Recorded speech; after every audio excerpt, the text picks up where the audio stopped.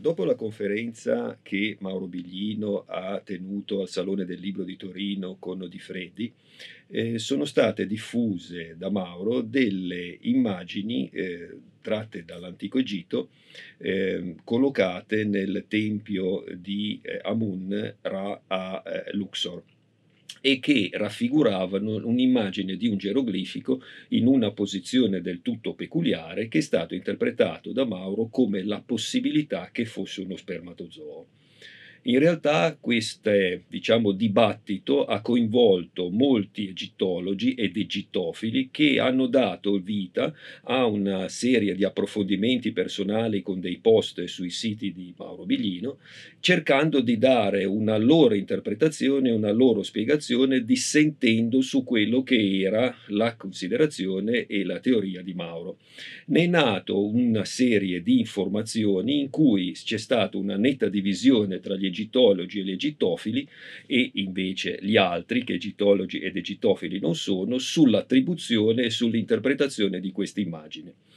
e eh, in uno di questi post sono stato, diciamo, tirato in ballo anch'io in quanto uno dei partecipanti a questo forum ha chiesto il mio ben poco autorevole parere in materia. E allora, sollecitato da questa eh, possibilità di approfondire, ho deciso di parlare anch'io sull'argomento, cercando di portare un po' di luce su una situazione che, come è stata descritta e come si presenta realmente, è parecchio confusa confusa e si presta a delle possibilità interpretative decisamente impensate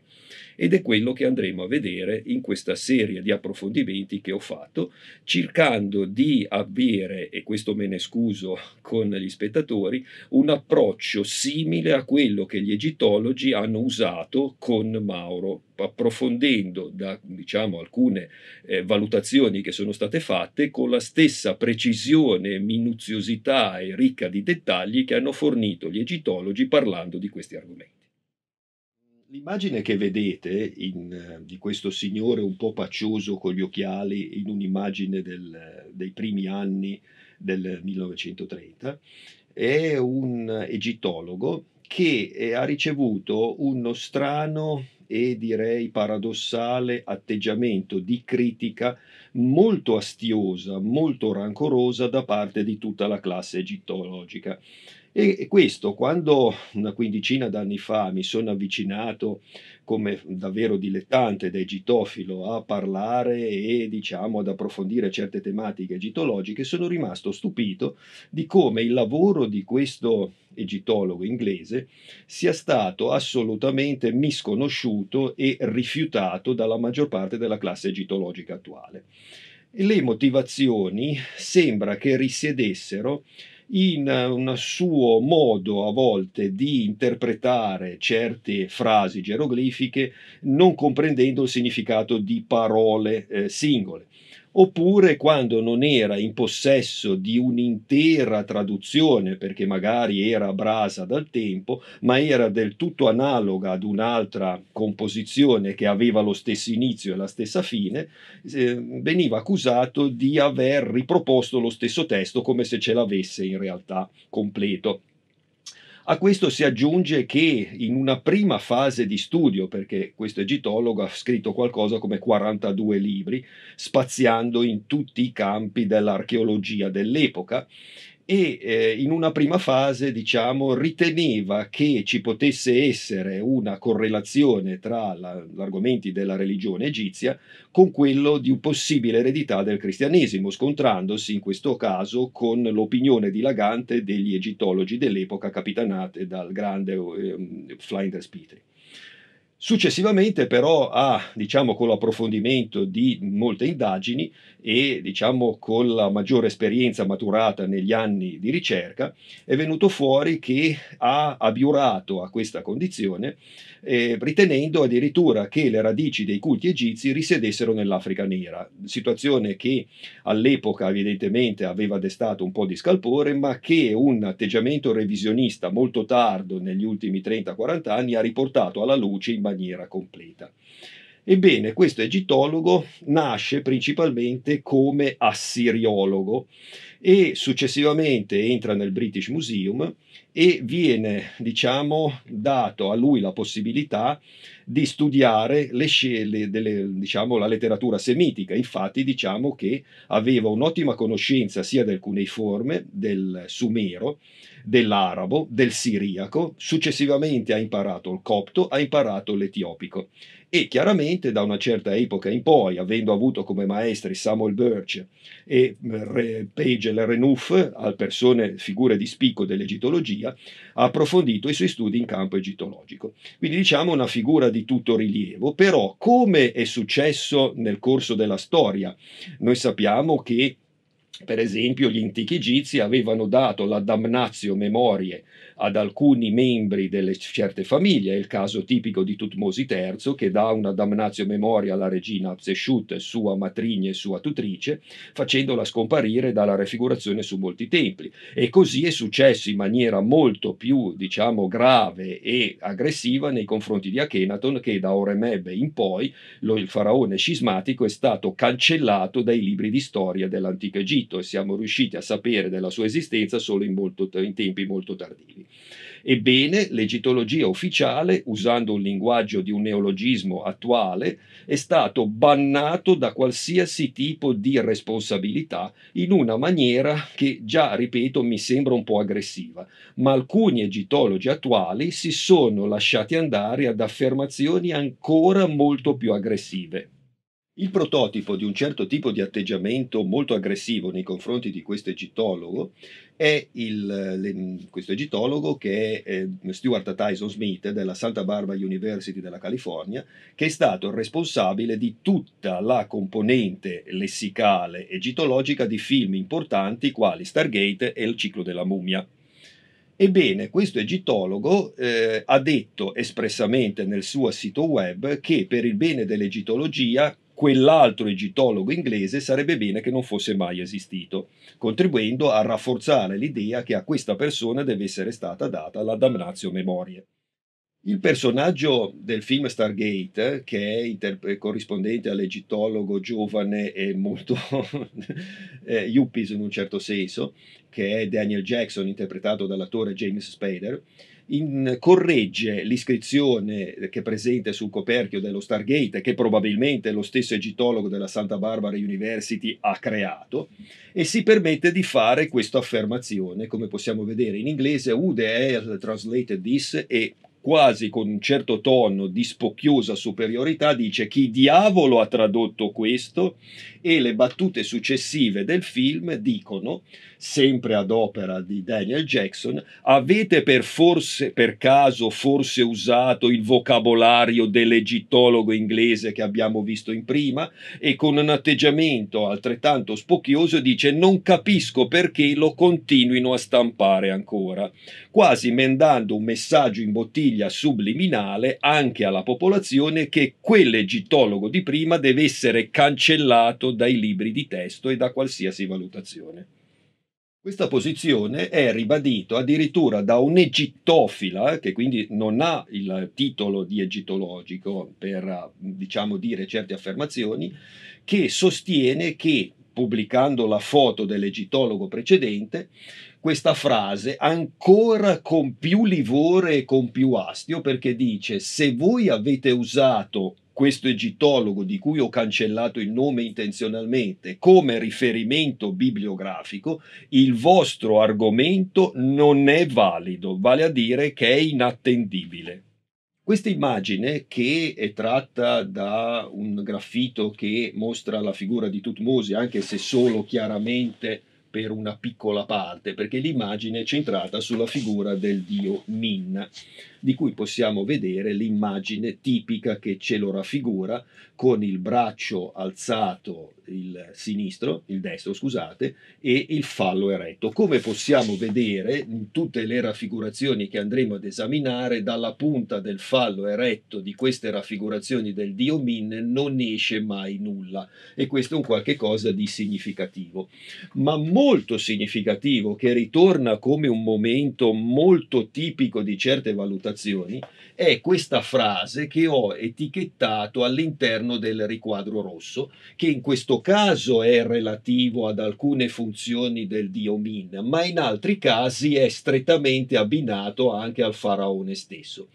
Noi vediamo una serie di geroglifici di cui vediamo la traduzione su in alto in giallo, vediamo questo simbolo che si pronuncia Sa, questo è la chiave della lunga vita, Lank, questo ha il significato di dietro, Ha, F è il pronome personale, questo è Neb che vuol dire signore, poi viene usato il geroglifico di Ra e il nome riferito a Mi. Quindi Sa, Ank, Af, Neb, Mira, che viene tradotto come dagli egittologi loro stessi, la protezione magica, esiste anche la variante il fluido della lunga vita dietro di lui, lo rende signore come il dio Ra. Ed è significativo ed è molto importante che questo tipo di frase molto rilevante per quel discorso che ha fatto Mauro riferito a un approccio medico di certe valutazioni che devono essere certificate e imbricate molto strettamente con le conoscenze egittologiche abbinate alla medicina, compare sempre nella parte posteriore della figura, sia esso un dio, sia esso il faraone. Abbiamo visto questo emblema, che è l'emblema che abbiamo tradotto come la protezione, e possiamo vedere che cosa invece gli egittologi, che cosa appunto gli egittologi determinavano per questo tipo di simbolo. Questa immagine, che è proveniente dalla fonte di riferimento per gli egittologi, sia generali sia quelli che hanno commentato sul forum di Mauro Biglido il discorso nel, delle immagini provenienti dal santuario di eh, Luxor, ci fanno vedere quei simboli precedenti. In questo caso vediamo questo simbolo che in talune circostanze, e lo vedremo successivamente nelle immagini che faremo vedere riferite al Tempio di Luxor, ha questo aspetto. Questa è una collocazione che ci fa vedere una corda piegata che serve come pastoia per il bestiame e in questo caso una tettoia di papiro per pastori arrotolata. Quindi se vediamo questa tipologia di immagine è abbinata al concetto di protezione ed è molto antico perché troviamo un riferimento ai testi delle piramidi, in questo caso la formula 1470 dove ha il valore sempre di protezione ed era la prima parola che avevamo visto citata in quella frase etichettata in rosso. Sempre dal vocabolario questa volta, non dall'indice dei simboli geroglifici del Gardiner, ripeto, testo di riferimento per gli egittologi, vediamo i due simboli, di cui uno è considerato variante dell'altro, appartengono a questa categoria, che ci dicono protezione specialmente magica. Quindi era un qualche cosa che dava una manifestazione non completamente spiegabile in termini razionali, ma con un qualche cosa che, diciamo, diciamo, rasentava qualcosa di non propriamente razionale o non propriamente umano. Ma se vediamo il lavoro fatto dall'egittologo bannato, dall'egittologo innominabile o desecrabile, che quindi viene scartato dalla quasi totalità, potrei dire completa totalità dell'egittologia, noi vediamo gli stessi simboli interpretati come variante, il significato che dice protezione, un oggetto che fornisce o arreca protezione, amuleto, talismano. E noi vediamo che l'abbinamento dei due simboli, proprio quelli presenti nel riquadro rosso dietro la figura del dio Amin, vediamo che viene interpretato questo n in realtà si riferisce a questo, è come se in questo caso non ci fosse riferito a questo. Ed ecco, vediamo che l'egittologo innominabile esecrabile scrive una possibile sua interpretazione, dice il fluido magico della vita, quindi la chiave della lunga vita abbinato a qualcosa di protezione di aspetto magico. Questa è un'altra immagine che ci propone, che in cui vediamo la regina Hatshepsut, ed ecco di nuovo un'altra raffigurazione del dio Min con il fallo eretto da cui non esce niente, e vediamo di nuovo nel riquadro rosso la locuzione di prima, sa la protezione e il fluido, anche della lunga vita, abbinato a questo che vuol dire salute, pieno, diciamo, benessere delle proprie capacità psicofisiche, dietro di lui, sempre appunto nella parte posteriore, come il dio Ra. Quindi vediamo una sostanziale ripresa, cioè mano a mano che si snodavano le dinastie dei faraoni e che veniva raffigurato una certa divinità, c'era sempre una netta correlazione con questa frase permanentemente situata nella parte posteriore del corpo del dio. Questa è una delle immagini, non proprio quella che ha fatto vedere Mauro Biglino nelle sue ultime relazioni, ma è un'immagine parallela perché quella che lui farà vedere e che vedremo noi successivamente è in questo pannello, noi stiamo esaminando quella subito a destra. Questo è il dio Amun che impugna uno scettro. Questo qui che è Alessandro Magno, che in una certa epoca ha fatto visita al tempio di Luxor e ha reso omaggio al dio Amun, che effettua una abluzione lustrale attraverso questo vasetto da cui scende questa formazione ad acqua con una linea zigrinata. E vediamo questo tipo di geroglifico non accompagnato per vicinanza con l'altra immagine del fallo eretto del dio Min che ha determinato il vespaio di polemiche di reattività degli egittologi in maniera così spiccata. Noi vediamo questo che ha l'aspetto di un corno e vedremo poi cosa corrisponde, questo è il vasetto da cui spunta l'acqua. Non c'è altro tipo di immagine ma vediamo di nuovo la stessa frase che questa volta non è più solo correlata al Dio, ma viene proiettata anche su Alessandro stesso. Ed è sistemata non più nella parte inferiore, ma questo simbolo, il simbolo di Sa, il simbolo di proiezione, è nella parte posteriore dietro la testa e potremmo ipotizzare è un caso o c'è una motivazione profonda per cui questa protezione della lunga vita è abbinato a una parte posteriore del cervello di Alessandro Magno e qui di nuovo troviamo la stessa espressione sa, anc, af, neb, mira il fluido, la protezione della lunga vita dietro di lui lo rende signore come il Dio Ra. Questa invece è la prima immagine che è stata fatta vedere da Mauro Biglino nelle sue relazioni.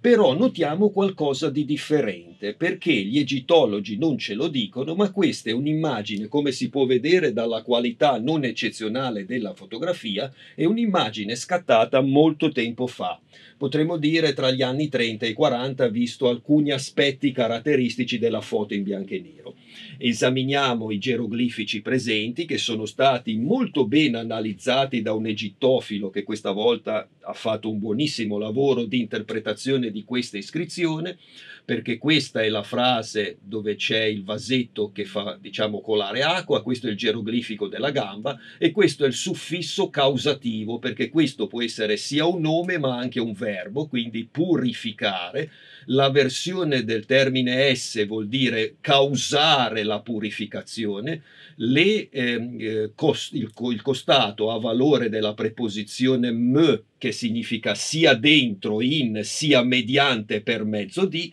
Qui abbiamo poi il geroglifico dell'incensiere con i granuli di incenso e la, una anfora da cui sgorga acqua lustrale, interpretati tutti come determinativi, quindi effettuare o causare una purificazione mediante incenso e acqua. Ma concentriamoci sul fallo eretto del dio Min, a cui sempre Alessandro Magno depone questa offerta di acqua lustrale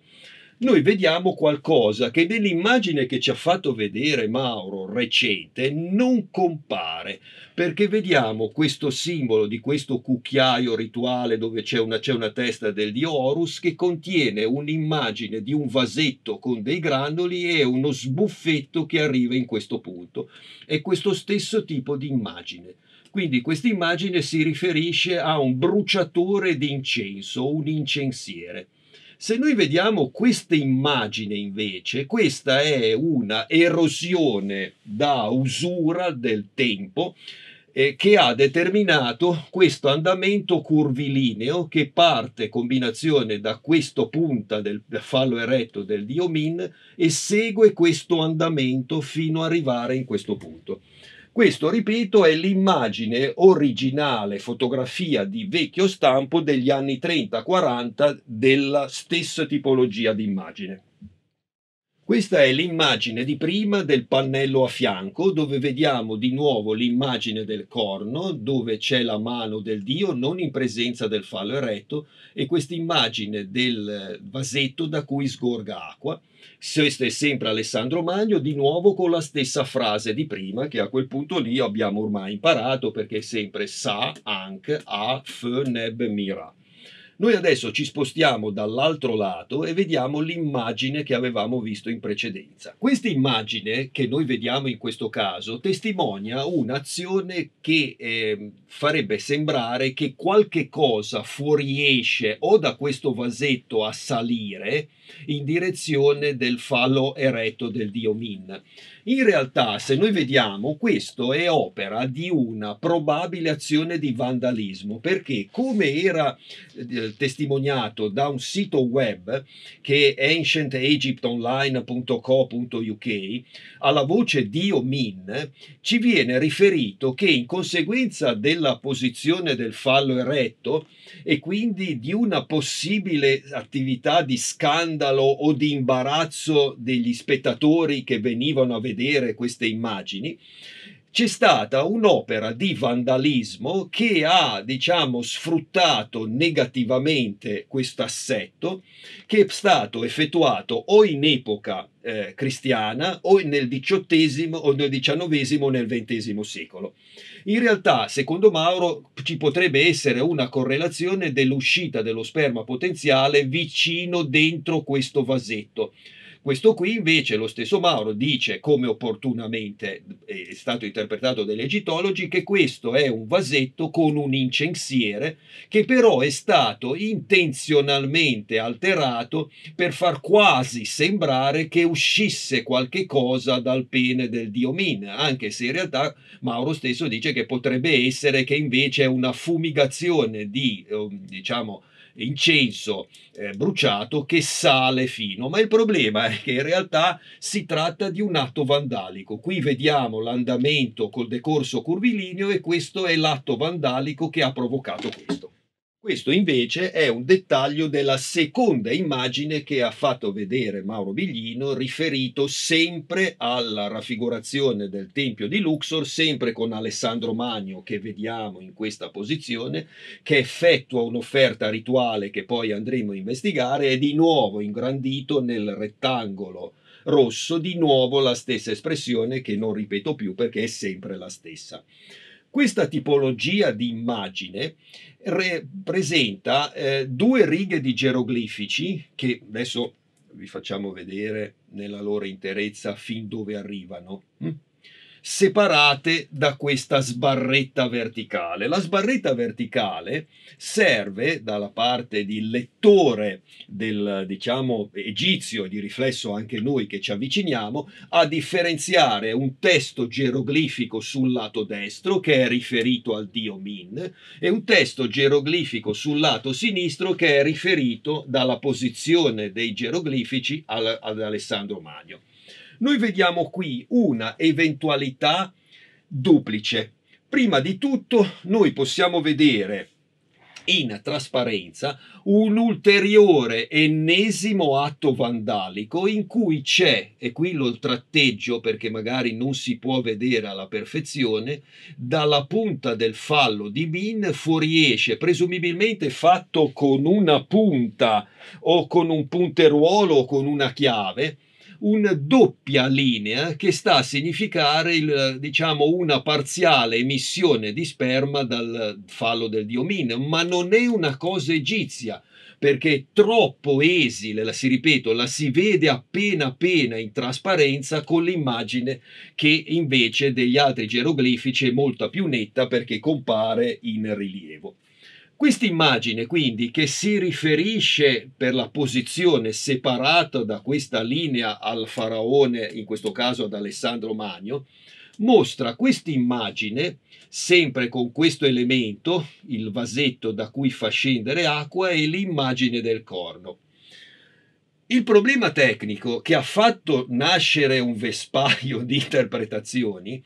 è che questo dipinto, questa raffigurazione, non è fatta in maniera del tutto precisa, oltre a contenere, e lo vedremo poi in questa fase commentando, degli errori di impaginazione grafica dei geroglifici già dallo scriba o dal pittore egizio che ha lavorato a questa immagine, che commette degli errori di cui gli egittologi non ci dicono nulla,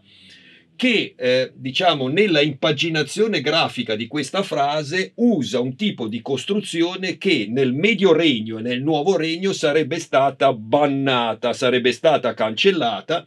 e il sacerdote che fosse venuto avrebbe visto questo tipo di errore, avrebbe detto no caro mio, signor scriba, tu questa la rifai e me la metti correttamente, ma adesso la vedremo. Un'altra cosa è che ci dovrebbe essere un minimo di separazione tra il geroglifico del corno con il vasetto che butta acqua dal pene del dio Min. Questo per evitare qualsiasi tipo di equivoco, ma questo per incuria o imprecisione dello scriba che ha fatto forse un po' frettolosamente questa composizione non l'ha fatto. E allora che cosa vede uno all'atto che ha magari è molto attento, ha notevoli conoscenze mediche, fine osservatore, dice questa cosa sembra che esca dal fallo eretto del dio Min. Ma in realtà, qui ripeto, se l'immagine fosse stata fatta in maniera corretta, questo, il corno col, col vasetto che versa acqua, dovrebbe essere separato. In realtà non è così e qui si apre il vespaio di polemiche. Perché si apre il vespaio di polemiche perché io, che non so a livello di lingua geroglifica, ma sono fine osservatore e conosco la natura umana, sono nettamente portato a pensare che questo è liquido spermatico che esce dal fallo. In realtà, come abbiamo visto nell'immagine precedente, questo è di nuovo il corno con il vasetto che fa vedere acqua.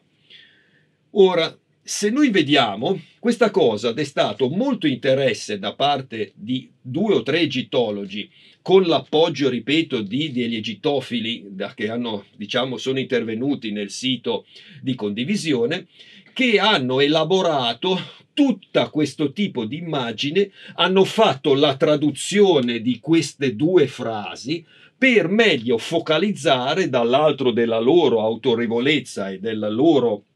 titolo la possibile traduzione di queste due frasi. Ma non solo, perché c'è stato anche un altro egittologo che con una pazienza sopraffina ha riprodotto tutta la frase con tutto il pannello di geroglifici, l'ha traslitterata e l'ha tradotta. E vediamo che ci sono delle valutazioni da fare su questi, diciamo, aspetti lessicali e letterali della traduzione.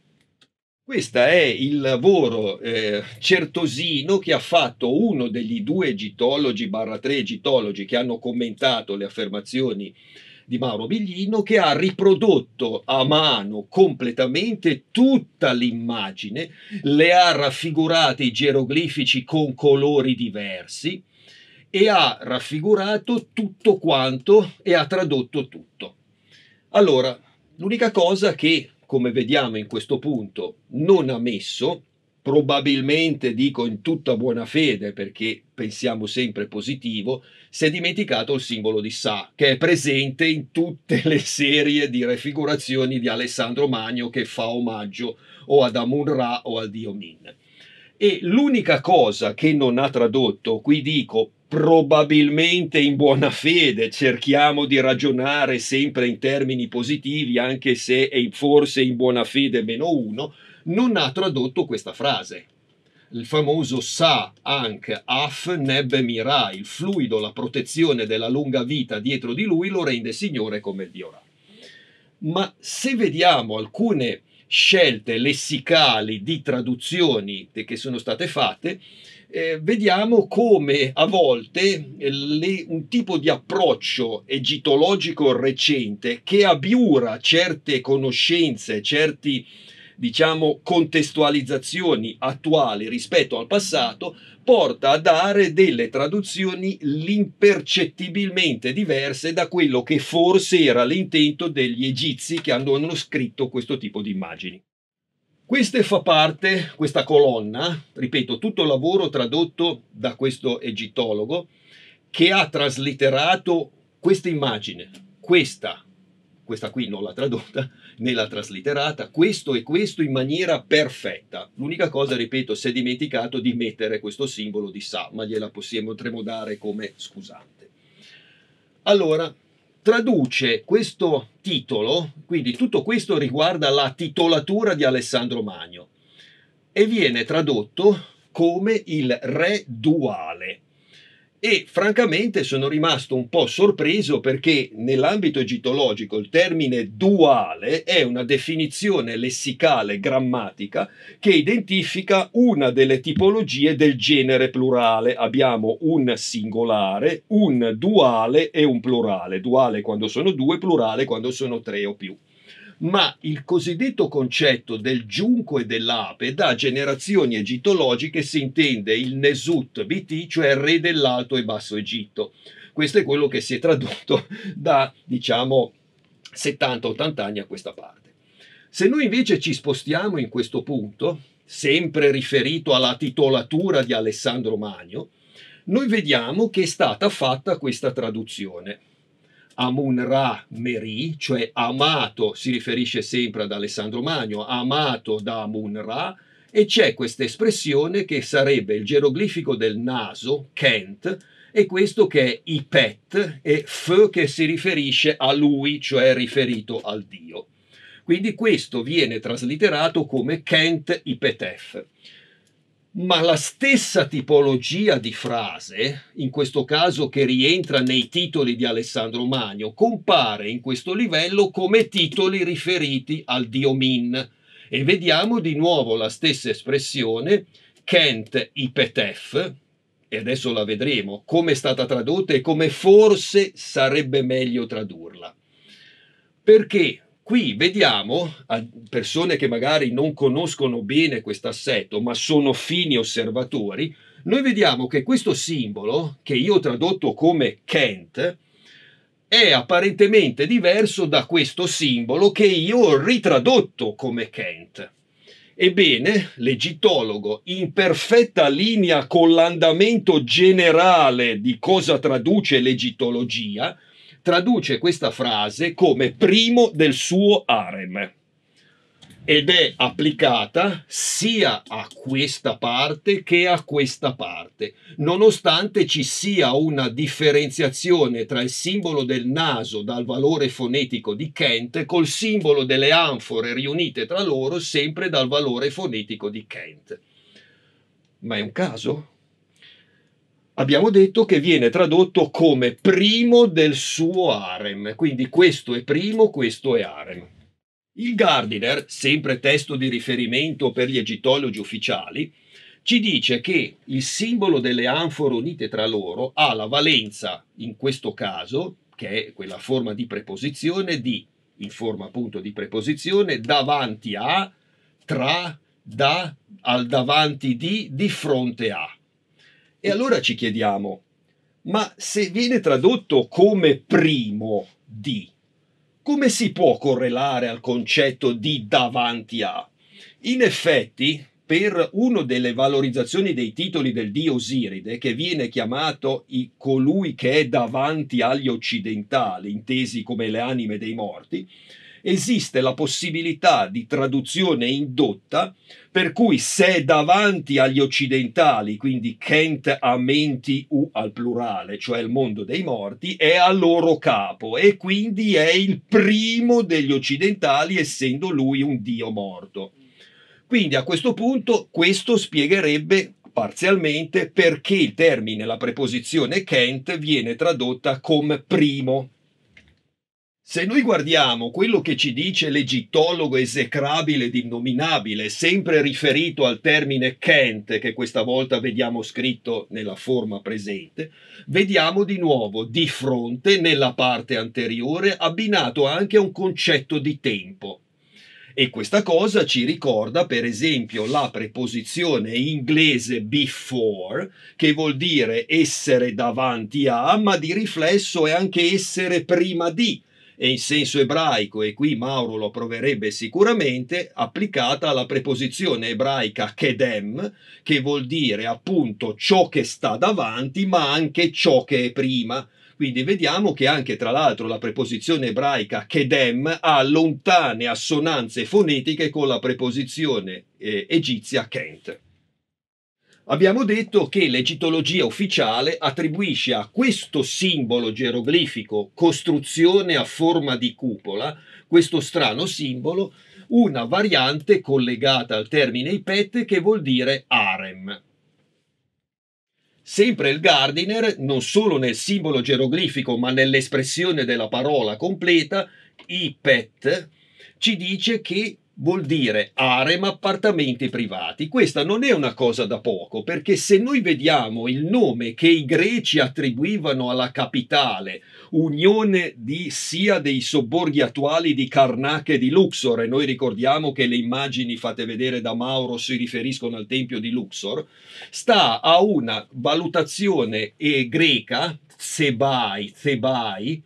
del termine allitterato dal greco al geroglifico, dove il geroglifico vuol dire ta, che vuol dire terra, e ipet, che vuol dire abitazione palazzo. Quindi la terra del palazzo, chiaramente riferito o al palazzo reale o al grande tempio. Quindi noi vediamo, e la variazione sarebbe che la consonante P per le lingue, eh, la lingua greca, è del tutto sovrapponibile alla palatale B.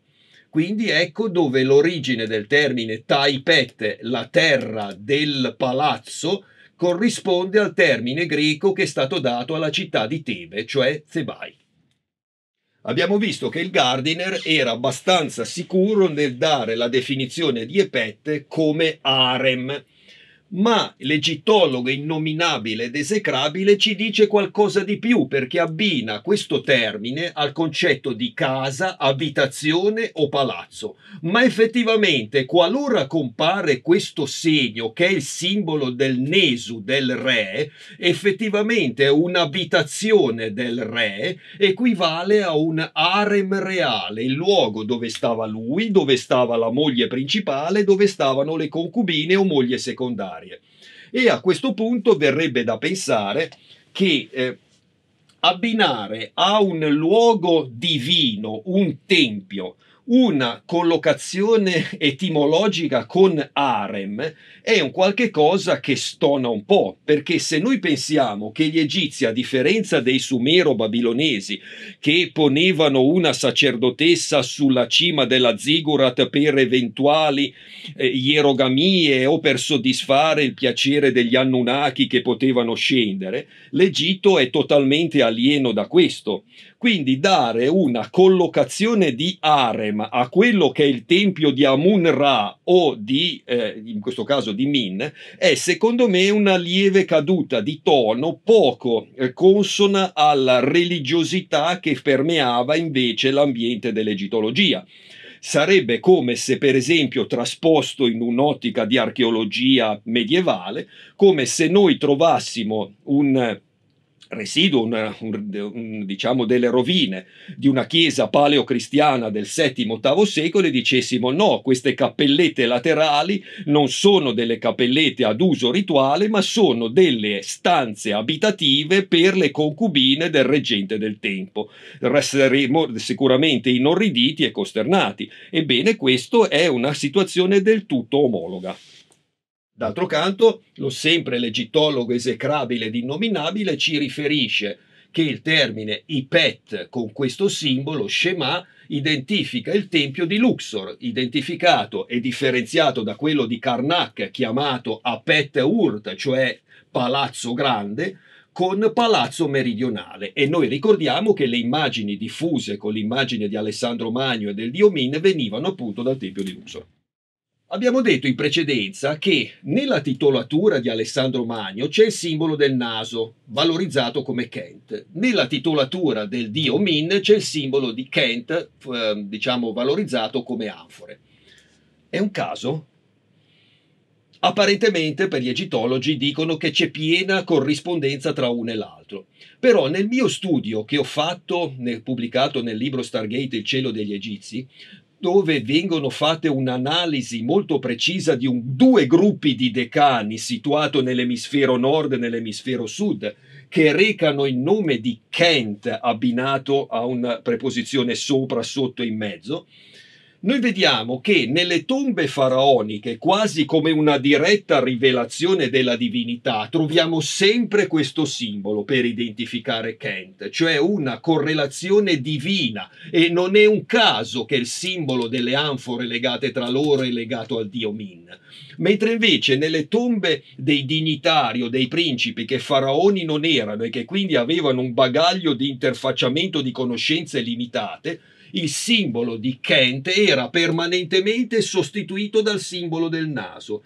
Quindi è assolutamente in pieno e logico equilibrio che lui, che è un uomo, usi il simbolo per rispetto di Kent come naso, tipico della definizione umana, versus lui che è sicuramente un dio e che ha pieno diritto a rappresentare il simbolo di Kent con le anfore legate tra loro. Ma se noi ci rifacciamo adesso alla fatidica frase ed entriamo nel clou di certe valorizzazioni di, di traduzione, noi vediamo la traduzione che è stata fatta dai due egittologi con l'appoggio di un terzo pienamente suffragate e condivise tra di loro e da un certo pool di egittofili. Questa frase è stata tradotta in un modo completo che adesso andremo a vedere, cioè viene tradotta come il simbolo dell'occhio che vuol dire fare. Eh, vedremo un po' che la presenza di questo simbolo, di questo emicerchio che è la lettera T, non sia del tutto chiara, tant'è vero che l'egittologo innominabile propone timidamente una possibile variante lessicale che comunque non cambia di che la visione generale.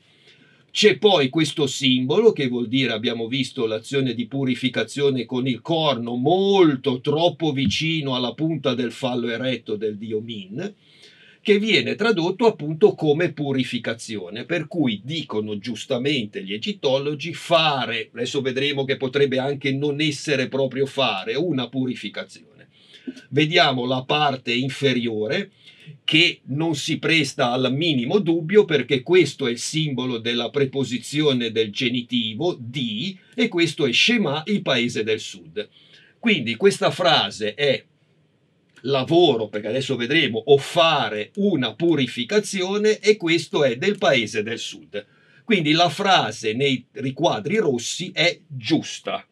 ma il problema nasce su questi pochi simboli geroglifici. Infatti i tre punti interrogativi sono dovuti al fatto che questa frase presenta degli errori da parte dello scriba che li ha tradotti, perché nel Nuovo Regno e nel Medio Regno questa struttura non sarebbe mai comparsa. Si tratta di errori rossi, ma ce n'è ben due e adesso li andremo a individuare. Se noi guardiamo come hanno tradotto gli egittologi questa frase, ripeto, in piena e solidale concordanza e complimentazione reciproca, ci viene detto fare o azione, lavoro di purificazione, questa è la preposizione del costato che vuol dire mediante, per mezzo di, compaiono cinque barrette verticali, un anatroccolo che viene interpretato in questo modo sia dal Gardiner e ribarito da Carmela Betrò e di nuovo tre sbarrette verticali. La interpretazione degli egittologi convenzionali è mediante cinque granuli. Uno egittologo aggiunge tra parentesi di incenso, il secondo egittologo lo dice direttamente senza parentesi. Quindi mediante cinque granuli. Problema è e qui devo fare una breve esemplificazione. Per capire dov'è l'errore, bisogna che faccia un piccolo excursus parafrasando l'italiano per far capire alle persone che ci ascoltano le strutture concrete della lingua geroglifica applicata alla parola italiana. Prendiamo per esempio la parola remo. La parola remo è composta dalle consonanti R ed M, viene, diciamo se la vorremmo trasporre in, in geroglifico, sempre chiaramente con la struttura italiana, scriveremo le lettere R e M perché la vocalizzazione come uguale all'ebraico, che si scrive da destra verso, sin verso, sinistra senza vocalizzazioni e guarda caso i primissime forme di scrittura geroglifica si scrivevano da destra verso sinistra e la vocalizzazione non è mai comparsa, quindi scriveremo R ed M. Ma R ed M non fa consentire di capire il genere dell'argomento di cui stiamo parlando. E allora si introduce un concetto di spiegazione del campo di azione di dove si svolge l'argomento. Quindi si scrive R e M e siccome parlo di un remo faccio, per ipotesi, il simboletto di una barca. Perché se a RM io aggiungo un albero come ideogramma, RM abbinato a un albero fa ramo. Se io ci scrivo una penna, R e M abbinato a una penna fa rima. Se io ci scrivo R e M abbinato al simbolo di città fa Roma. Questi sono i concetti base della lingua geroglifica. Quindi è prima il valore fonetico R ed M. Poi viene messo un determinativo di genere che esplica di che cosa stiamo parlando e per ultimo un determinativo di numero cioè di quanti remi stiamo parlando. Uno, due, genericamente tanti oppure un numero specifico. Il concetto base che emerge da questa valutazione è che, come possiamo vedere tra poco, il determinativo di numero è l'ultimo che compare in qualsiasi nome, perché prima ci dovremmo mettere R e M che sta per remo, devo mettere la barca che identifica il genere di che cosa si sta parlando e devo mettere il, per finale il numero di quell'oggetto, quante volte ne sto parlando. L'egitologo innominabile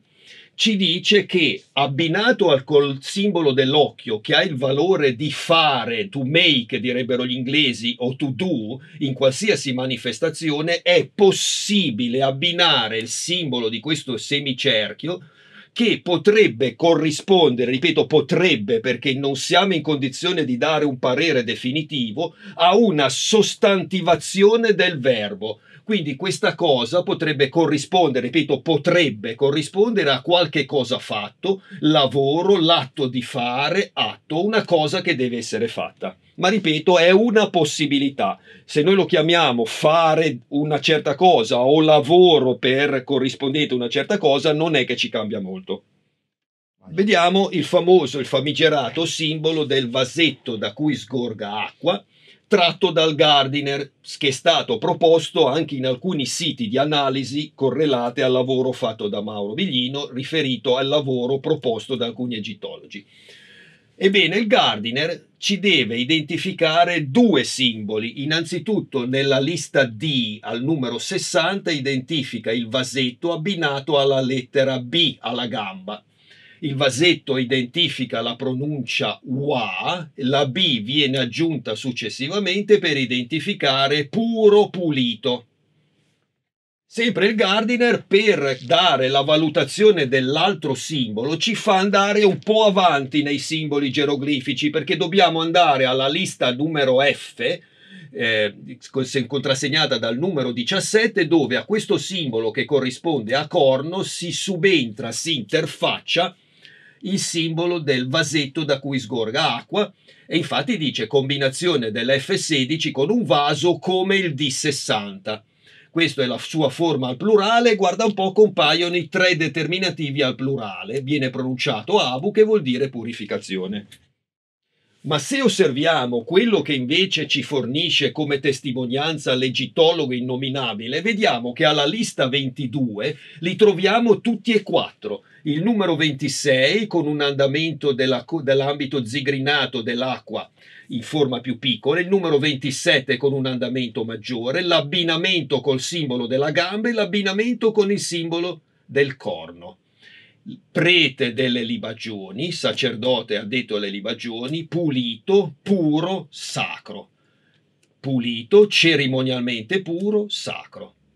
Guarda caso, apparentemente, l'egittologo innominabile sembra dare qualche spiegazione più ampia e più approfondita dell'egittologo canonico. Se guardiamo questa valorizzazione, noi abbiamo cinque sbarrette verticali che identificano il determinativo del numero, ma ne troviamo altre tre che identificano l'altro determinativo specifico ma ci manca qualche cosa perché questo, l'anatroccolo, in pieno accordo con quanto dice sia il Gardiner che Carmela Betrò, è un simbolo letterale, fonetico, che viene fonetizzato come TH lievemente aspirato a. Ma questa frase ci fa capire che c'è un determinativo, apparentemente seguendo quello che dicono gli egittologi, iniziale di parola e loro correlano questa cosa che secondo tutte le regole farò vedere adesso il Gardiner che ribadisce che i determinativi di numero sono alla fine. Parola, simboli fonetici, determinativo di genere, determinativo di numero. Questo qui è un determinativo di numero posto all'inizio. Questo è il determinativo posto successivamente di numero, sempre riferito all'anatroccolo. Ma l'anatroccolo è un anatroccolo? Perché notare che è stato tradotto da loro, dagli egittologi, come granuli. E allora ci chiediamo, ma manca qualcosa? Perché io vedo un anatroccolo. Mi manca un determinativo di genere per capire che si tratta di granuli, come dicono loro. E vedremo che è vero, ma qui non c'è niente. Quindi, interpretato come hanno correlato gli egittologi, qui abbiamo un doppio determinativo di numero di cui una che non segue le regole gittologiche canoniche, perché è all'inizio della parola, e l'anatroccolo non ha un determinativo di genere. Quindi ci sono due errori dovuti in parte a una cattiva comprensione del testo dello scriba che l'ha compilato, che viene interpretato in maniera non corretta dagli egittologi. Se guardiamo il testo di riferimento del Gardiner, ci viene detto tre sbarrette, stroke riferito tre volte, ripetuto tre volte, è correlato al simbolo del plurale, determinativo della pluralità e dice segue un ideogramma o un determinativo, in questo caso di genere, per mostrare che esso dovrebbe essere inteso per tre volte. E lo vediamo delle parole. Le tre sbarrette, Guarda caso compaiono anche i granuli, ma guarda che combinazione. Eccone tre qui.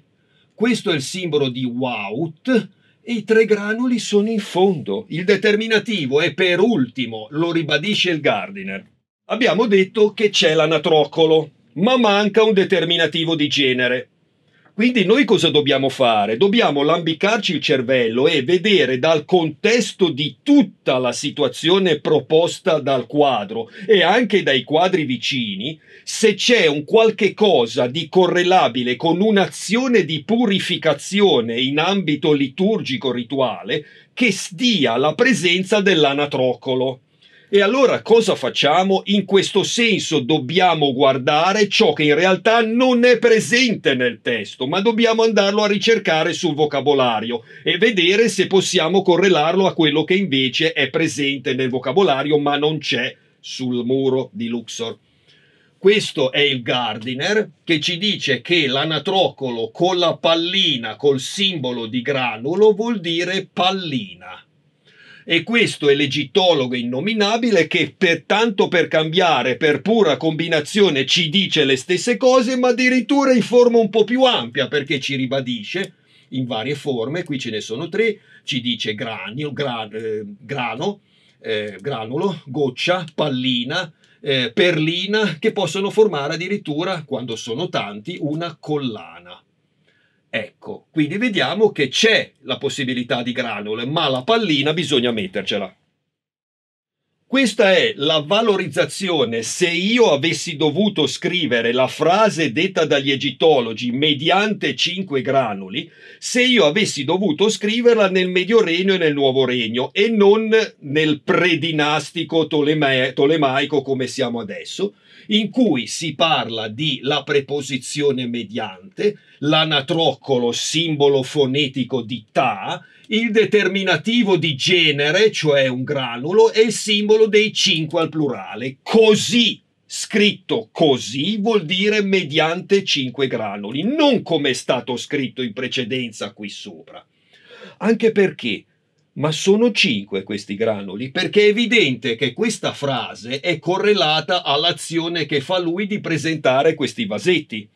E questi vasetti, guarda caso, mm, eh, ripetizione ottimale di quello che c'è scritto, contengono dei granuli di dimensioni, e qui è anche piacevole constatare che i granuli d'incenso sono passati 2300 anni, ma sono sempre delle stesse dimensioni, perché questi sono i granuli d'incenso. Li contiamo? 1, 2, 3, 4, 5 e 6. Ma guarda, sono 6 e non 5. E allora? I 5 granuli di incenso mi sa che non hanno vita lunga. Hm? Ma questo invece deve essere correlata questa frase con questa azione. Ecco invece quello che presumibilmente è contestualizzato dal lavoro che abbiamo fatto di verifica delle varie possibilità, contestualizzato dalle altre immagini, perché ben inteso quello che hanno fatto gli egittologi, che non ci dicono, è una valorizzazione da contesti dei quadri adiacenti, lavorando per esclusione. Guarda caso è uno dei tanti procedimenti adottati dall'egittologo innominabile ed esecrabile che è stato fatto diventare tale perché non segue il testo, ma si inventa parte delle traduzioni. Guarda caso è una procedura parzialmente similare a quella che abbiamo incontrato adesso. Quindi è possibile, c'è anche una seconda possibilità che ho dovuto scartare, perché qui è chiaro che non essendo in possesso di una versione omogenea rispettosa delle regole egittologiche per la traduzione di questo, dobbiamo immaginare di poter considerare la preposizione m come correlata alla purificazione e in questo caso avrebbe il valore di una purificazione dentro, una purificazione interna. Il problema è che l'uso della preposizione in forma avverbiale, non dentro ma una preposizione che è dentro, quindi con un verbo essere inteso, è una situazione che ha da pochi riscontri. Allora dobbiamo ricorrere all'ultima possibilità di interpretazione del testo che abbiamo, dove l'errore dello scriba è ha posizionato male il simbolo della M che prima era messo qui e invece va messo qui. Manca il simbolo del granulo e tutto il resto è perfetto. Con due sole intercalazioni abbiamo una verifica del testo che a questo punto vuol dire o fare o lavoro di purificazione in numero di 5 esemplari, di cui questi sono 4 preparati per un'azione successiva e c'è quella che sta facendo in questo momento, con granuli in numero a specifico, non preciso, non determinato, perché li abbiamo contati, sono 6. Quindi vuol dire 5 lavori di purificazione effettuati mediante i granuli del paese del sud non è nettamente diverso, ma un pochino sì. Quindi, concludendo questo tipo di analisi, voglio significare che il lavoro degli egittologi è un lavoro estremamente difficile, estremamente complesso perché non in tutte le circostanze abbiamo una piena valenza di rispetto dei valori lessicali che troviamo forse un pochino più di disponibilità e di essere meno arroccati su certe posizioni che non ammettono repliche potrebbe dare un maggiore valore di rispetto e di collaborazione reciproca. Se però noi ci avviamo in questo caso alla fase conclusiva, se noi guardiamo invece questa frase che non è stata tradotta, abbiamo detto all'inizio forse per casualità o forse no, vediamo delle interessanti valutazioni. Abbiamo ah. detto quante volte troviamo questa frase, qui ho messo sempre i punti interrogativi per far capire che manca un simbolo, ed era la frase che abbiamo visto in precedenza, il fluido o la protezione della lunga vita dietro di lui lo rende signore come il Dio Ra. Questa frase è, abbiamo visto, molto ma molto spesso presente. E allora come possiamo interfacciarla con un'altra azione molto rilevante e che spesso gli egittologi hanno difficoltà a inquadrare in un termine ben preciso, perché qui a questo punto bisogna dire che Mauro ha avuto un colpo di genio quando ha detto che c'è un approccio metodologico coinvolgendo altri tipi di categorie, in questo caso i medici, potremmo dire gli esperti di medicina orientale, gli esperti di medicina induista, perché alcuni aspetti che troviamo sui certi geroglifici inseriti in certi atteggiamenti un po' strani che adesso andremo a vedere, si possono interfacciare a pieno regime con delle collaborazioni e delle similitudini che troviamo in altri campi, in altri luoghi e in altri tempi della Terra.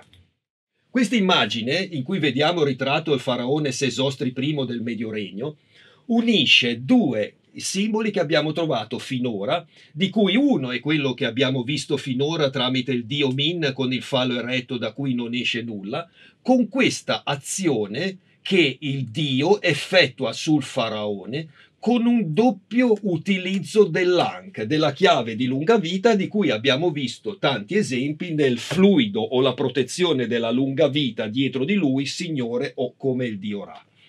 Questa è la cosiddetta posizione di riposo dell'anche tenuta per l'occhiello. Questo è semplicemente il simbolo per far capire che o si tratta di un dio, questo è uno dei rari casi in cui in conseguenza del dono che gli fa la divinità con questa posizione, con questo atteggiamento che adesso andremo a investigare, che è diffusissimo, questo trattamento dell'anche in una posizione e con un andamento ben specifico, comporta che lui sia attivato e quindi possa essere assimilato in tutto e per tutto alla divinità che di solito sono quelle che reggono l'anca.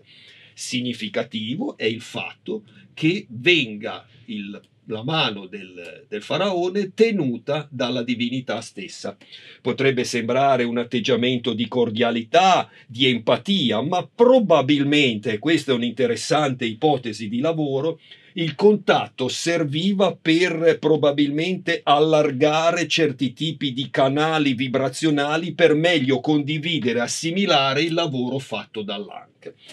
Come viene, diciamo, preso l'ANC? Viene preso in questa posizione tra l'indice e il pollice dal lato lungo e posizionato dal basso verso l'alto con una angolazione tra i 15 e i 20 gradi diretta in questa posizione verso gli occhi e verso la parte superiore.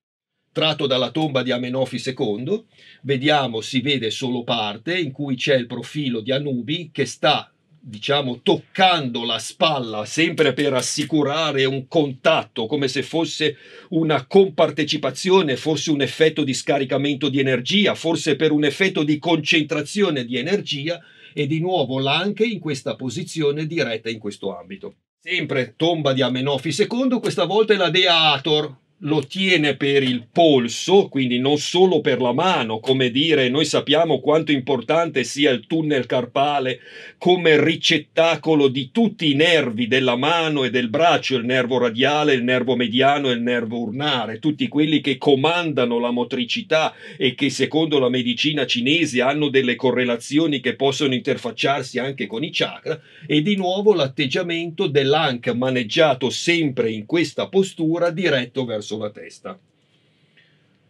Tutmosi IV, stesso tipo di trattamento fatto dalla Dea Ator e fatto da Anubi, sempre con lo stesso andamento, sempre con la stessa direzione in posizione centrale, con un angolo di 15-20 gradi dal basso verso l'alto. Non poteva mancare Tutankhamon con la Dea Ator che gli fa analogamente il trattamento. Oremeb, stesso tipo, dio Horus fa lo stesso tipo di trattamento e questa è molto bella perché questo è Seti I con il dio Horus che gli fa ancora di più perché abbiamo visto in precedenza che o gli tiene la mano o gli mette una mano sulla spalla. Qui addirittura fa di più, perché la mano sinistra viene messa dietro la nuca quasi a fosse una specie di concentrazione per evitare che magari lui si spostasse per questo tipo di trattamento, per agevolare, fargli da schermo, in un certo senso fosse anche una possibilità di concentrazione. E se noi vediamo questa posizione che vediamo è un Ankh decisamente atipico, ma Seti I era un faraone veramente speciale, lo vediamo dalla sua magnifica tomba. Qui vediamo la mano sinistra che effettua questa specie di protezione, di incrementatore, di schermo e di concentrazione dell'energia. Questo è l'Ankh diretto sempre in questa posizione. Queste due sbarrette che se non ingrandiamo ci sfuggono, sono due scettri was. Lo scettro was, genericamente interpretato come espressione di salute, corrisponde al senso di benessere di salute psicofisica. Quindi questo trattamento vuol dire che non solo gli dà la lunga vita, ma lo migliora anche dal punto di vista fisico e dal punto di vista psicologico. Non manca Ramses II, sempre con lo stesso andamento, eppure sua moglie, la regina Nefertari, dove vediamo di nuovo, in conseguenza di questo irraggiamento, il fluido della lunga vita dietro. Non tutta la frase, ma comunque abbastanza significativo. Questa è un'elaborazione che ho fatto cercando di portare che cosa è la sfera del, dell'encefalo con il lobo del cervelletto, la calotta cranico, il talamo e le varie strutture sia dell'ipotalamo che del tronco encefalico, che cosa potrebbe essere il bersaglio di questo irradiamento fatto con l'anca tenuto in questa postura. Ebbene, questa cosa va a toccare la ghiandola pineale. La ghiandola pineale, in quanto produttrice di melatonina, era conosciuta già dagli antichi sia anche un po' ebrei, dovessi dire, perché ci sono dei riferimenti tardi nello Zohar che parlano dei granuli di qualche cosa di una, che può sfuciare poi in rugiada. E la rugiada è un corrispettivo del liquor cefalorachidiano attivato a determinati tipi di livelli energetici ma l'irraggiamento determina la produzione, noi sappiamo la ghiandola pineale per le discipline antiche, a parte la correlazione con il terzo occhio, a parte la correlazione che l'epifisi o ghiandola pineale ha con l'ipotalamo, perché riduce il senso della fame. E noi sappiamo, questo la fisica, eh, la, la, la, fisiologia ce l'ha spiegato, una possibilità di ridurre il, diciamo, il deterioramento e attivare il processo di anti-aging, di anti-invecchiamento dell'individuo in generale, dei parti e dei cromosomi, è far sì che ci sia un, entro certi limiti, ricordo che Mauro in questo senso aveva ridacchiato un po', una, quando gliel'avevo detto, una riduzione dell'apporto calorico e la riduzione dell'apporto calorico viene interfacciata con un'attivazione dell'ipotalamo sul senso della fame. Quindi noi vediamo che la melatonina, oltre che essere immunomodulatore, essere come una situazione che migliora determinate prestazioni neurofisiologiche, che migliora la qualità del sistema immunitario, è un qualche cosa che potrebbe essere come ipotesi di lavoro l'interfacciamento di questa effettiva attività di attivazione fatta con l'ANC. Non a caso noi abbiamo che nel caso di Alessandro Magno, qui sotto, qui a questo livello, era girato dall'altra parte, c'è scritto la protezione. La protezione a questo livello ed è sempre dietro, dove il tronco encefalico, la parte nobile in questo senso del cervello, parte poi il tronco encefalico è sempre nella parte posteriore. E guarda caso, tutte le immagini che abbiamo fatto vedere quando citava il dio Min o quando faceva vedere, in quel caso di Alessandro Magno come faraone, il fluido della lunga vita lo rende signore, dietro di lui lo rende signore come dirà, è sempre abbinato al termine Haf, dietro di lui, è un qualche cosa che è qui, dove c'è il fluido, la magicità della lunga vita. Bene, adesso abbiamo ascoltato le spiegazioni, come sempre, chirurgiche estremamente perfette del dottor Massimo Barbetta, che sono sempre affascinanti soprattutto per la perfezione con cui le conduce, e adesso facciamo alcune riflessioni di carattere generale che secondo me sono molto intriganti perché ci aiutano a capire un sacco di cose. Quindi ripartiamo poi dalle immagini, ma facciamo delle riflessioni, ripeto, anche di carattere generale. E prima di allora, passare alle riflessioni vorrei sgomberare il campo da due banalità, sono due cose piccole ma, ma, ma mi premono. La prima è questa. Siccome mi è stata attribuita l'interpretazione di questo segno qui come, come la raccolta del liquido spermatico, ora se si va a vedere i filmati nei quali quello per esempio dell'incontro col professor Odifreddi dove io ho parlato della raccolta del liquido, mai e poi mai mi sono riferito a quel segno lì. Perché per me raccolta era evidente che la raccolta del liquido spermatico si fa in questo recipiente che è posto proprio sull'organo sessuale, anche perché mai e poi mai avrei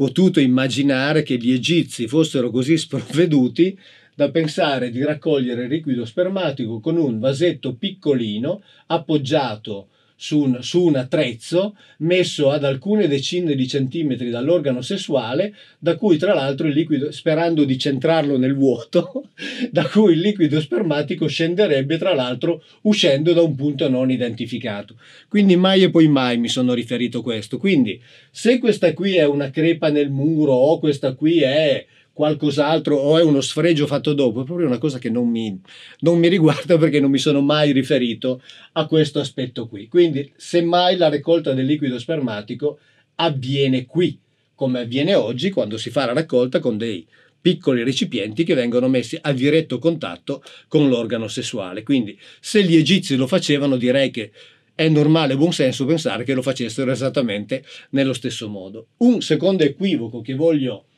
sfatare questo, siccome io in una diapositiva avevo scritto il nome di Hatshepsut eh, perché intendevo parlare di, di, del tempio di Luxor e di Karnak, eccetera, allora mi è stato detto, ah, Biglino non sa di che cosa parla perché Hatshepsut è antecedente al tempio di Luxor e quindi non è possibile collegarla. Ora, Università di Chicago dicono chiaramente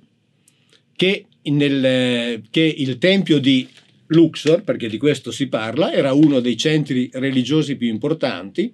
lì avvenivano le, delle processioni e molti re sono stati eletti, cioè re faraoni insomma, sono stati eletti e incoronati lì, tra di questi, tra gli altri, Hatshepsut. Quindi voglio dire, quel um, egittofilo che ha detto Biglino non sa di che cosa parla. Quando collega Hatshepsut col tempio di Luxor, beh, eh, non lo so, lo dico sorridendo, però dovrebbe scriverlo anche all'Università di Chicago, che non sanno di che cosa parlano, perché loro stessi dicono che Hatshepsut è stata incoronata nel tempio di Luxor. Quindi Insomma, voglio dire, prima di raccontare certe cose, soprattutto raccontarle con sarcasmo, eccetera, sarebbe bene magari, non so, fare qualche verifica. Comunque, voglio dire, non sono queste le cose più importanti. Adesso invece passiamo all'esame molto rapido, vedrete degli aspetti più importanti. E quindi riprendendo ciò che ha spiegato Massimo Barbetta, che ha letto i geroglifici, cosa che lui fa, io non faccio, ma quindi mi rifaccio a lui, gli dice che c'è scritto chiaramente che ciò che c'è lì, ciò che è rappresentato in quel muro a Luxor, è fatto in modo da dare la lunga vita al faraone, ovviamente, e renderlo come il signore Ra. Cioè noi sappiamo che la massima aspirazione dei regnanti di allora era quella di avere la vita lunga come quella degli dei e ricordiamo per esempio la vicenda di Gilgamesh che fa un lungo viaggio per andare nel posto dove veniva dispensata la lunga vita. Quindi questa era la, come dire, eh, massima aspirazione. E qui ci, ci viene detto con estrema concretezza, perché guardate questo è l'aspetto importante, che viene fatto per dare la lunga vita e rendere il faraone come il signore Ra. E adesso andiamo avanti e vediamo un altro aspetto. Altro elemento di polemica è stata questa rappresentazione di questa immagine, sulla quale io continuo a rimanere della mia idea, cioè dell'idea che ho espresso la sera in cui l'ho proiettata al Salone del Libro.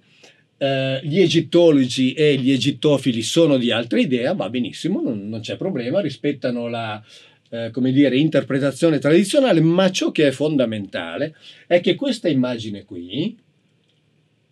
viene intesa in ogni caso come l'immagine dell'atto della purificazione. Quindi siamo di fronte ad una purificazione. Ripeto, senza perdere un minuto di tempo a discutere se questa sia una cosa piuttosto che un'altra, piuttosto che una terza, perché in questo caso eh, faremmo come quelli che quando qualcuno indica la luna guardano il dito. Ecco, no, noi guardiamo la luna. Allora, la luna è, su questo tutti siamo d'accordo, si tratta di un atto di purificazione. Nella iscrizione di prima abbiamo visto che si tratta di un atto di purificazione finalizzato a rendere la vita del faraone lunga come quella del dio Ra questo è importante. Terzo elemento lo vediamo qui, dove Massimo Barbetta ci ha spiegato nel video che avete appena visto l'errore commesso dagli egittologi nel tradurre questo geroglifico, cioè questo insieme di geroglifici. Perché gli egittologi dicono che qui c'è scritto che si parla di una purificazione fatta con cinque granuli e che questa purificazione coinvolge in un senso simbolico, in un senso quasi magico, in un senso quasi allegorico, l'Egitto del Sud, il paese del Sud. Qui Massimo Barbetta ci ha spiegato che sono stati vittime di una svista colossale, perché il reale significato di questa scritta è che si compie l'atto di purificazione con un numero imprecisato di grani, ma che è plurale, del paese del sud, non quindi una purificazione generica, simbolica sul paese del sud, ma è un'iscrizione molto concreta che ci dice che quei granuli, cioè quelle sostanze che vengono usate per fare la purificazione, provengono dal paese del sud, che è una cosa, voi lo capite, completamente diversa. Cioè noi siamo di fronte ad una immagine e a delle iscrizioni che sono di una concretezza veramente affascinante e per certi aspetti disarmante. C'è una raccolta di liquido che viene fatta direttamente in un contenitore collegato direttamente all'organo sessuale del dio Min, non a quello lì sotto con uh, quella striscia ondulata che, ripeto, di cui non mi sono mai occupato anche perché parte da un punto da cui il liquido spermatico non potrebbe uscire, quindi sarebbe ridicolo solo pensarlo. Quindi la raccolta del liquido spermatico, la purificazione che viene fatta con delle sostanze che provengono dal paese del sud e le finalità della, della purificazione sono quelle di dare la lunga vita al faraone. Ora qui siamo di fronte appunto nella incertezza, ripeto, poi anche nella incertezza, anche se gli egittologi sono certi, ma va bene, non è un problema, della eh, lettura di questa immagine qui, siamo di fronte comunque a degli elementi nei confronti dei quali quantomeno il dubbio è giustificato. Ma questo dubbio è giustificato non soltanto per noi moderni, perché vedete, quando io assisto a queste cose, mi viene in mente ciò che scrivevano gli antichi. E ve lo leggo, così almeno siamo siamo tranquilli. Qui abbiamo Filoni di Biblos che parla degli studi del sacerdote San Cugnaton, 1200 a.C. E questo sacerdote San Cugnaton dice che imbattutosi in certi libri segreti che erano stati fino ad allora nascosti nei penetrali del tempio di Amon, cioè parliamo delle divinità egizie, si dedicò al loro studio per comprendere tutte quelle cose che non a tutti era dato conoscere. Alla fine riuscì a realizzare il suo progetto e tolse di mezzo i miti e le allegorie in cui erano stati avvolti i tempi primitivi. Ricordo che secondo la traduzione degli, degli egittologi questa iscrizione rimanderebbe allegoricamente ad una purificazione che coinvolge genericamente il paese del sud, chissà poi perché non la parte nord, ma comunque non ha importanza. Coinvolge genericamente il paese del sud, allegoricamente. Massimo Barbetta ci ha spiegato che di tutt'altro si tratta. Quindi siamo esattamente in questo ambito qui. In seguito i sacerdoti che vissero dopo San Cugnaton vollero nascondere nuovamente la verità e tornare al mito. Da allora ebbero origine i misteri. E la cosa interessante perché poi prosegue e si dice che i nostri orecchi, stiamo parlando di duemila anni fa quando viene scritto questo, abituati fin dall'infanzia alle loro invenzioni e martellati ormai da tanti, da tanti secoli da queste fantasie, custodiscono quasi come un deposito la materia favolosa trasmessa da queste favole, che essi hanno appreso, così come ho già detto all'inizio Rafforzate dal tempo, queste invenzioni fantastiche sono diventate un patrimonio di cui assai difficilmente ci si può disfare tanto che la verità, cioè la concretezza di quello che viene rappresentato e scritto in riferimento a questo, tanto che la verità sembra una fantasticheria, mentre i racconti contraffatti sembrano avere tutti i caratteri della verità. Guardate, questo è straordinario, ma sapete perché è straordinario? Perché ancora una volta l'Università di Chicago, di cui poi troverete il riferimento qui sotto, dice che noi dobbiamo considerare la possibilità che gli stessi egiziani antichi abbiano perso il significato dei riti che si conducevano nel tempio di Luxor. Cioè gli stessi egiziani antichi non sapevano più che cosa in antichità si faceva nel tempio di Luxor.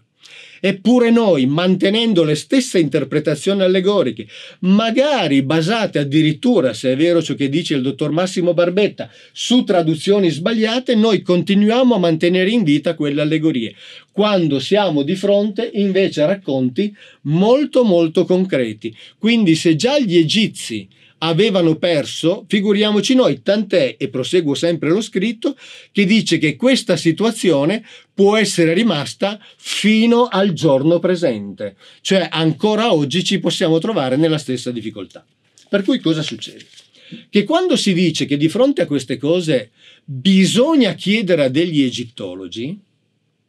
io dico va bene, certamente, in prima istanza chiediamo agli egittologi, il problema è che se le risposte che ci danno gli egittologi non ci sembrano congruenti con ciò che vediamo e con ciò che leggiamo nelle traduzioni corrette, noi abbiamo non soltanto il diritto, ma abbiamo il dovere di chiedere ad altri. E siccome qui in questo caso siamo in presenza di purificazione di liquido spermatico, a chi dobbiamo chiedere se non a medici, genetisti, biologi, tecnici di laboratorio? Perché gli egittologi non studiano questa materia. Non perché siano ignoranti, ma perché studiano un'altra materia. Quindi noi abbiamo il diritto di chiedere ad altri quando le spiegazioni non ci convincono. È la stessa cosa che ho fatto con la Bibbia. Visto che le spiegazioni dei teologi in relazione al testo biblico non convincono, bisogna far intervenire altri ed è ciò che ho fatto in questi anni. Qui siamo di fronte ad una situazione simile. Situazione simile, tra l'altro, che presenta dei risvolti che sono straordinari. Perché io vi invito ad andare a leggere, per esempio, le traduzioni pubblicate dalla UTET di Torino, dei testi sumeri, dove si, quindi traduzioni accademiche, dove si racconta della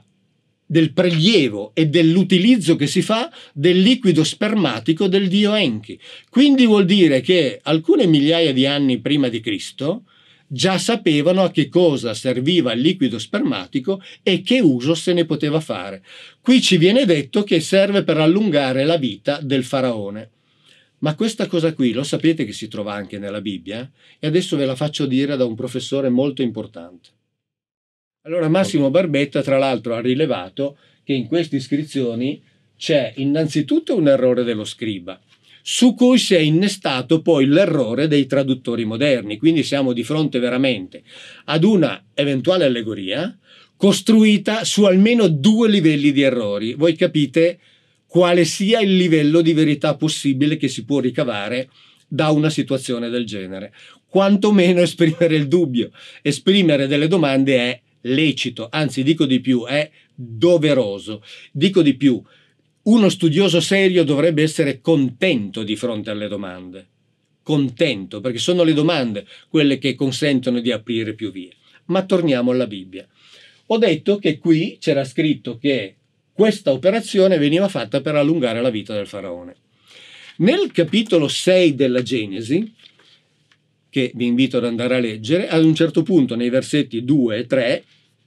c'è scritto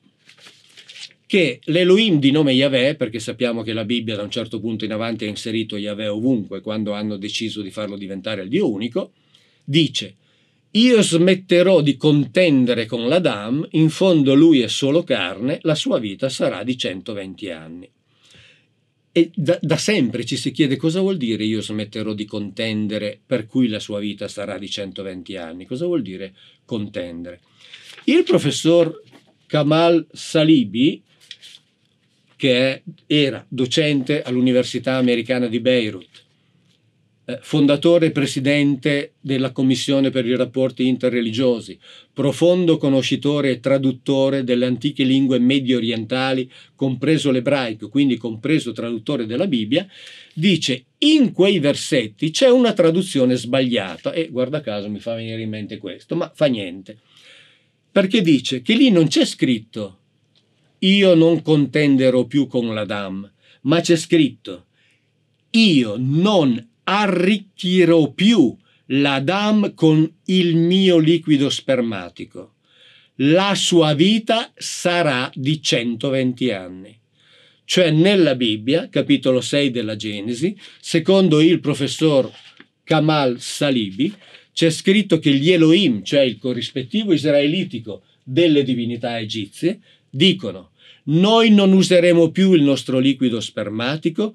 per allungare la vita degli Adamiti. Sapete che gli Adamiti sono, lo spiego da sempre, sono quella razza speciale che gli Elohim si sono fabbricata per mettere dentro il loro Ganeden e dicono quindi noi non allungheremo più la vita con il nostro liquido spermatico e la loro vita sarà di 120 anni, cioè non diamo più l'apporto e la loro vita si riduce. Qui abbiamo letto prima che con questo apporto la vita del faraone si allunga. Questo è stupefacente, da pelle d'oca ci dicono esattamente la stessa cosa, cioè l'utilizzo che si faceva del liquido spermatico. E qui siamo di fronte ad un racconto che ci dice anche che questa purificazione avveniva con delle sostanze che provenivano dal sud dell'Egitto, non che magicamente si operava una purificazione sul sud dell'Egitto.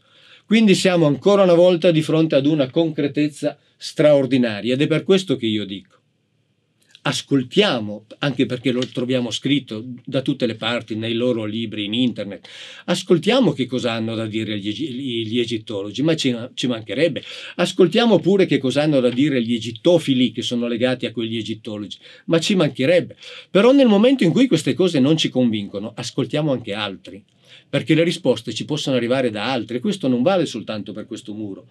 per i quali sentiremo medici, genetisti, eccetera, eccetera, ma vale per altre eh, illustrazioni e per altri muri, diciamo così, egiziani, dove sentiremo fisici, dove sentiremo ingegneri, sentiremo ingegneri elettronici, perché è bene avere altre risposte, è fondamentale avere altre risposte. E chiudo con una vicenda. Invito tutti a ripensare alla vicenda di Heinrich Schliemann, quel commerciante tedesco che nel 1800, badate bene lui non aveva neanche finito gli studi di ginnasio, ha pensato che l'Iliade, in particolare, insomma comunque i poemi omerici, contenessero un fondo di verità. Quando l'ha detto e quando ha detto, beh, io intanto avrei intenzione di andare a scavare là per vedere se effettivamente ci sono queste cose,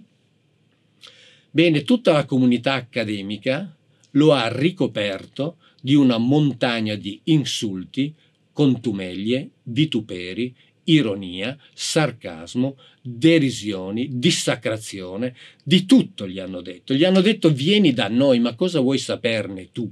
Noi possediamo la verità. È un po' come è stato scritto a me, no? Biglino, se vuoi sapere queste cose chiede agli egitori. Certo,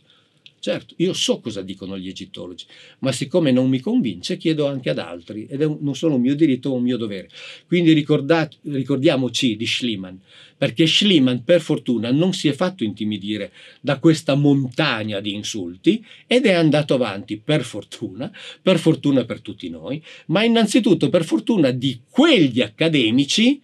che senza le sue scoperte da dilettante ancora non saprebbero nulla di ciò che c'è nella collina in Turchia e saprebbero molto meno, o magari poi qualcuno l'avrebbe scoperto dopo, chissà, ma la storia non è fatta di sé, della civiltà micenea. Pensiamo a tutto ciò che ha tirato fuori quell'archeologo dilettante contro il quale tutti si sono scagliati. Allora io voglio dire, visto che siamo in presenza di incertezze, visto che siamo in presenza di possibili errori fatti dallo stesso scriba, visto che siamo in presenza di errori fatti da, da, possibili errori, per carità, fatti dagli egittologi che hanno tradotto. Visto che comunque nel complesso siamo in presenza con le traduzioni ipoteticamente corrette di un, raccolto, di un racconto molto concreto, cioè di una purificazione fatta con delle sostanze che ci si dice arrivano dal sud del paese, di una purificazione che ha il compito di allungare la vita del faraone, visto che nella Bibbia ci viene detto che il, il liquido spermatico degli Elohim allungava la vita degli Adamiti, quindi che tutti ci raccontano la stessa storia, ma non vale la pena di farsi delle altre domande? Non vale la pena veramente di porsi dei dubbi, allora io dico che aprire la mente, aprire la via ad, a possibilità diverse è comunque sempre un bene per tutti. Grazie di aver ascoltato queste riflessioni di Massimo prima e mie adesso e un saluto.